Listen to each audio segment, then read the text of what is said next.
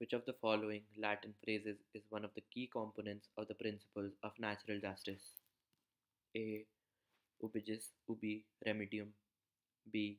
Nemo debet esse judex in propria causa. C. Ignorantia facti excusat. Ignorantia juris non. D.